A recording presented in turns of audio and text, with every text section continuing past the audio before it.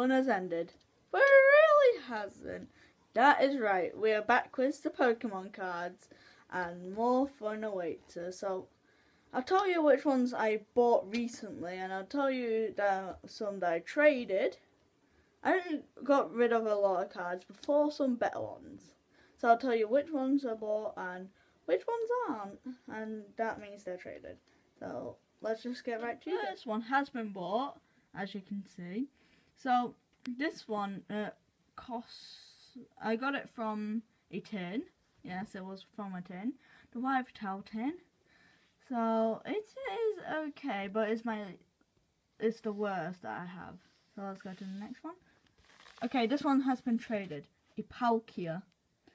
Now Palkia has been one of the favourites.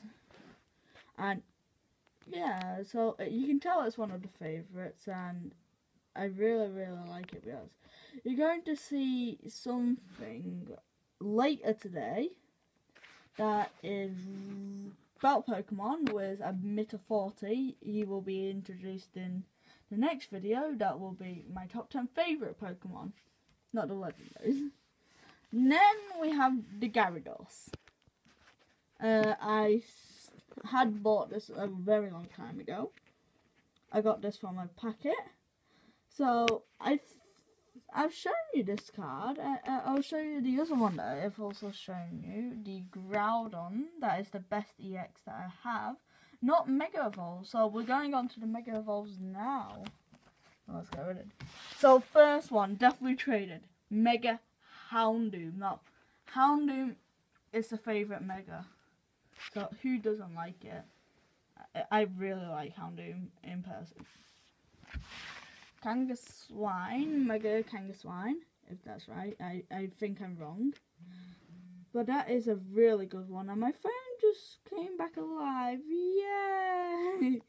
so, yeah, take that one into regret. I traded this one. I traded the Houndoom as well.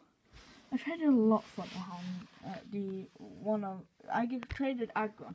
So this one I bought recently. I got it from a packet from the Yveltal pack. This is my best one. I traded nothing for this. I traded a lot.